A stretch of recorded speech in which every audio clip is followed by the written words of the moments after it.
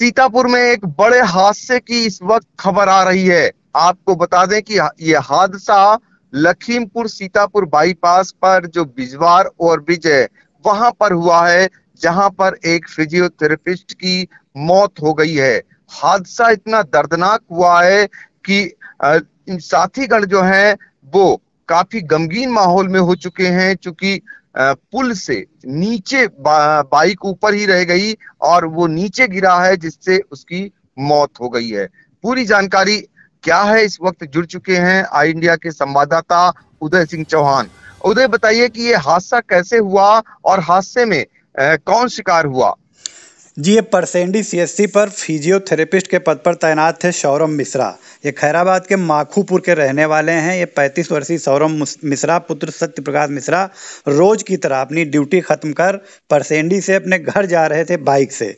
और अभी कुछ देर पहले, तकरीबन आधे घंटे पहले का हादसा है ये कोतवाली देहात इलाके में जो बिजवार ओवर ब्रिज है, उस पर से गुजर रहे थे। अचानक अनियंत्रित हो गई बाइक आपने देखा होगा कि जो बिजवार पुल है, वो उसमें मोड़ है एक। मोड़ के पास ही इनकी बाइक अनियंत्रित हुई है और ये पुल से नीचे आ गिरे हैं और इस दर्दनाक हादसे में इनकी मौत हो गई है। मौत की खबर जैसे ही चिकित्सा विभाग में पहुँची है, वहाँ शोक की लहर दौड़ गई है।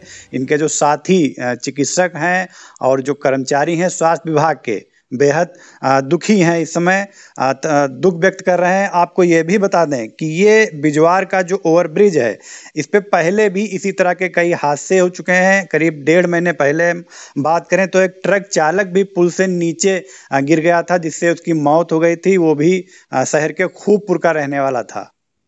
तो कुल मिलाकर ये कहा जा सकता है कि मौत रूपी ये ओवरब्रिज बन चुका है। यहाँ पर लापरवाही इस बात की है कि जो ओवरब्रिज बना हुआ है, उसकी जो दीवारें हैं, वो काफ़ी नीची हैं। रोक ना होने के चलते जो मोड़ है वहाँ पर अक्सर गाड़ी सवार उनके साथ हादसे हो जा रहे हैं। ये तीसरी मौत होनी बताई जा रही है। इससे पहले एक ट्रक चालक की भी मौत हो चुकी है और आज जो हादसा हुआ है, उसमें बाइक ऊपर ही रह गई और बाइक सवार जो फिजियोथेरेपिस्ट थे वो पुल से नीचे गिरे हैं जिससे उनकी मौत हो गई है। इसकी पुष्टि वहाँ पर तैनात जो होमगार्ड है उसने भी की है।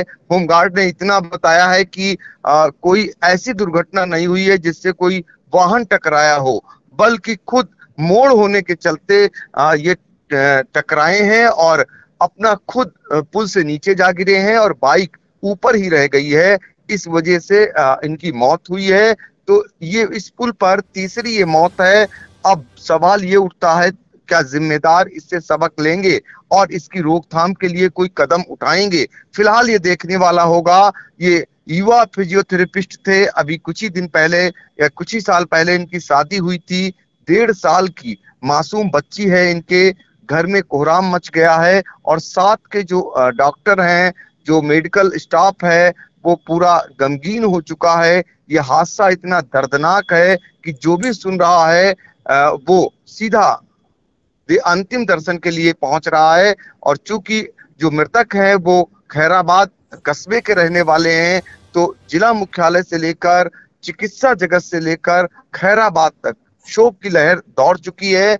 आ, ये उदय बताइए कि आ, ये हादसा कितने बजे हुआ है और अब क्या लगता है आपको? क्या जिम्मेदार इससे कोई सीख लेंगे? दोबारा हादसा ना हो ऐसे कदम उठाए जाने की आवश्यकता आपको नहीं लगता है आ, होनी चाहिए? जी बिल्कुल आवश्यकता है कदम उठाए जाएँ क्योंकि जो बिजवार का पुल है वहाँ पर जो मोड़ है वो मोड़ काफ़ी ज़्यादा मोड़ है एंगल अगर उसका आप देखें तो वहाँ पर आ, कई बार देखने में आता है कि चाहे वाहन सवार हो या बाइक सवार हो वहाँ पर असहज हो जाते हैं और अगर ज़रा सी भी लापरवाही हुई तो चूँकि वहाँ पर जो रेलिंग है वो भी इतनी ऊँची नहीं है कि उससे टकराने के बाद वाहन सवार या बाइक सवार पुल के ऊपर ही रह जाएँ।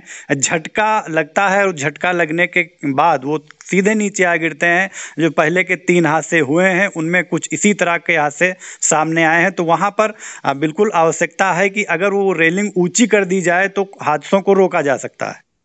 बिल्कुल, हादसों को रोका जा सकता है और पुलिस विभाग हो या परिवहन विभाग हो या प्रशासनिक अधिकारी हो, यातायात माह और यातायात सप्ताह मनाने जैसा कदम उठाते हैं और फिर भी ऐसे स्थानों का चिन्हांकन क्यों नहीं होता है जो दुर्घटना बाहुल्य या दुर्घटना ग्रसित स्थान बन चुके हैं?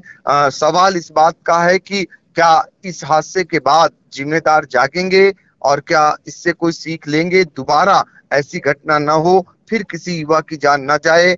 तो ऐसे कोई कदम उठाए जाएँगे, ये देखना होगा। लेकिन आज के हादसे के बाद शिक्षा जगत में शोक की लहर है और जो खैराबाद कस्बा है, वहाँ पर जैसे ही जानकारी पहुँची, युवा फिजियोथेरेपिस्ट थे, चूँकि और बड़े होनहार थे, इसलिए वहाँ भी शोक की लहर दौड़ चुकी है।